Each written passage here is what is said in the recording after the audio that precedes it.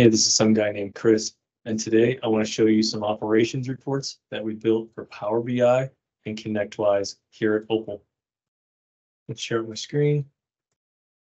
And what you're seeing here uh, is WIP, work in progress.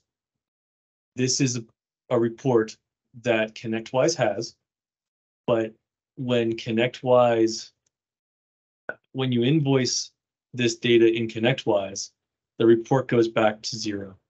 So I was approached a couple years ago by my boss who said, I actually export this daily. I put it into Excel. Can you make it easier?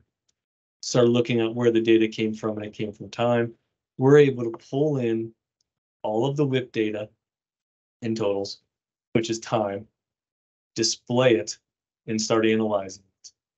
So with this type of report, I can see every the totals over every workday.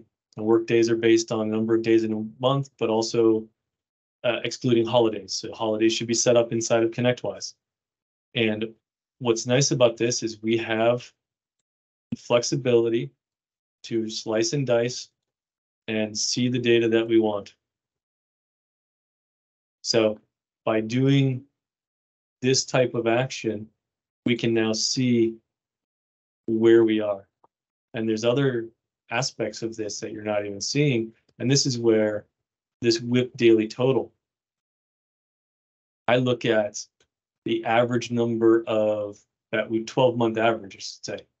So the current WIP average is the current month.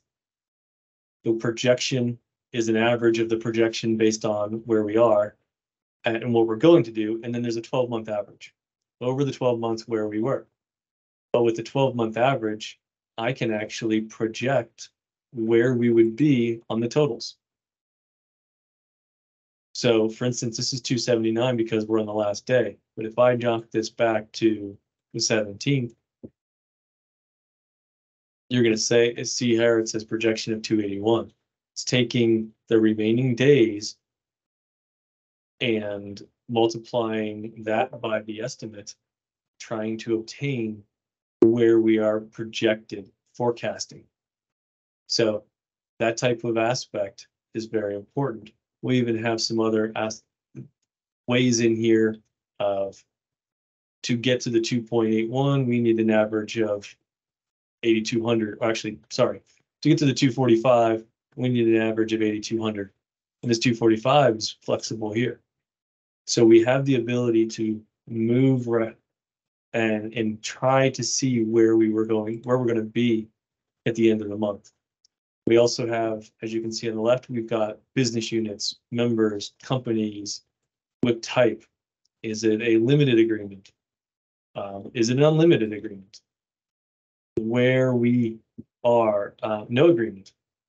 Think about no agreement, no coverage. This is just straight money in your pocket. There's no agreement on it. So you want to see where that is. We can also look and see is it an activity to see someone put something underneath the activity that's billable. Uh, the flexibility is there, all about pulling data from ConnectWise, putting it into a model and getting it out.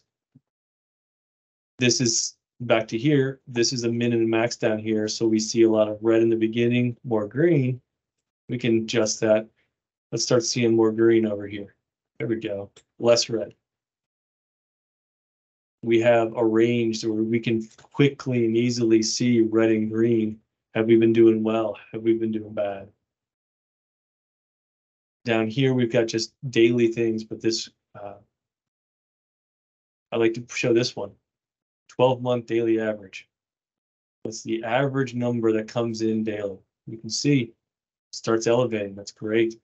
Comes down at the end, really goes up over the last year. Last report here, utilization report. This is actually a utilization report that mimics uh, what's in ConnectWise, but ours, I say, goes a little bit further. With the capacity hours, it's not just stuck at 40. We have the capacity hours offsetting by the holidays. So if, if you have Fourth of July that week, ours would be 32. Now, available hours If someone takes off another day, they're not at thirty-two anymore. They, we offset it, so was it twenty-four? No, I don't know. Forty-eight. I'm really bad at math apparently right now. So, but we have forty hours, so 32, 26. 24. What am I doing? Tell me I'm below. Tell me I'm at. I'm so off right now.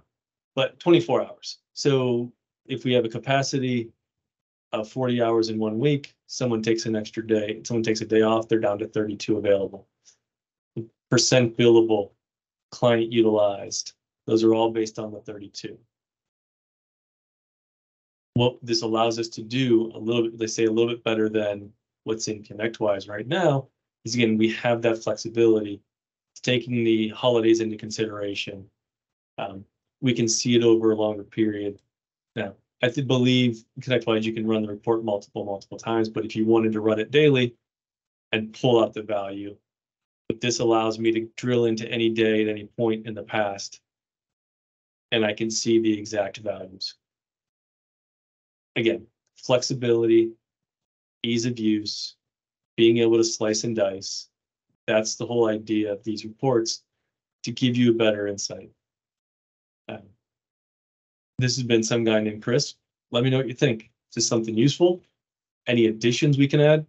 Any subtractions? Anything? What are your thoughts? Thanks.